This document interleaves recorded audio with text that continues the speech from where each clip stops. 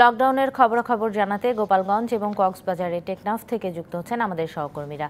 গোপালগঞ্জের শাহপুর সাতপার ও বেলতলি ইউনিয়নে লকডাউন চলছে। সেখানে আছেন আমাদের সহকর্মী সুব্রত সাহা, বাপি। বাপি, জানাবেন, লকডাউন কতটা কার্যকর হচ্ছে সেখানে?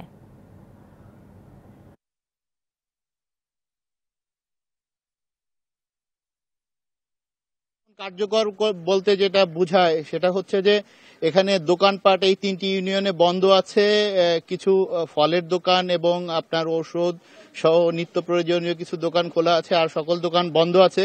কিন্তু যেই সমস্যাটি রয়েছে সেটি হচ্ছে যে প্রশাসন থেকে বলা হচ্ছে যে এই তিনটি ইউনিয়নের উপর দিয়ে যে একটি রাস্তা চলে গিয়েছে গোপালগঞ্জ টেকেরাট সড়ক এখানে আপনার বাস চলাচল এবং ইজি বাইক চলাচল বন্ধ করে দেওয়া হবে। কিন্তু সেটি কিন্তু আমরা সকাল থেকে দেখছি না। আমরা সকাল থেকেই সাতপাড়ায় অবস্থান নিয়েছি। সেখানে দেখছি যে লোকাল বাসগুলো থামছে এবং যাত্রী ওঠানামা করছে। এবং সেই সমস্ত যাত্রীরা কিন্তু বিভিন্ন স্থানে চলে যাচ্ছে। এর ফলে কিন্তু এই এলাকায় আরও করোনা রোগী থাকতে পারে। সেই সমস্ত করোনা রোগী সারা জেলায় হয়তো ছড়িয়ে যেতে পারে এবং জেলার বাইরেও ছড়িয়ে যেতে পারে। আর সর্বশেষ যেই বিষয়টি রয়েছে সেটি হচ্ছে যে, আপনার এই পর্যন্ত তেলিভিটা গ্রাম, যেই গ্রামে থেকে এই বিষয়টি ছড়িয়েছে, সেই বিষয়ে আরও একজনকে ট্রেস করা হয়েছে। মোট পাঁচচল্লিশ জন করোনা রোগীর সন্ধান পাওয়া গেছে।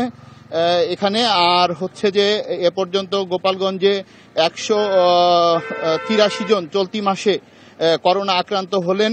আর মোট হচ্ছে যে আপনার আটত্রিশশো অতিক্রম করেছে। আটত্রিশশো একজন এই পর্যন্ত গোপালগঞ্জ জেলায় করোনায় আক্রান্ত হয়েছে। মার্চ মাসে স্বাস্থ্য বিভাগের হিসাবে ফোর পয়েন্ট ফাইভ পার্সেন্ট যেখানে করোনা রোগী ছিল, সেখানে এপ্রিল মাসে তা লাফিয়ে চোদ্দতে, চোদ্দ পার্সেন্টে চলে এসছে। এটি একটি ভয়াবহ বিষয়। আর হচ্ছে যে, এই করোনা রোগীদের ভেতরে যে ইন্ডিয়ান ভেরিয়েন্ট আছে কিনা, সেটা পরীক্ষা করার জন্য এগারো জনের স্যাম্পল ইতিমধ্যে আইসিডিডিআরবিতে কিন্তু পাঠানো হয়েছে। জমি, এই ছিল সর্বশেষ। বাপি, আপনাকে ধন্যবাদ। আমরা এবারে কক্সবাজারের টেকনাফে যেতে চাই। সেখানে আছেন আমাদের সহকর্মী শঙ্কর বড়ুয়া। শঙ্কর, জানাবেন কক্সবাজার টেকনাফে যেই দশ দিনের লকডাউন চলছে, তার নবম দিন আজ। সেখানে সংক্রমণ কিছুটা কমে এসেছে কিনা?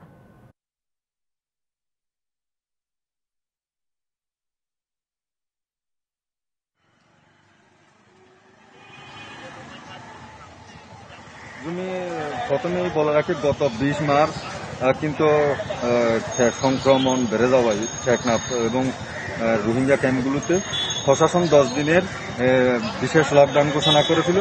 আজকে নবম দিন।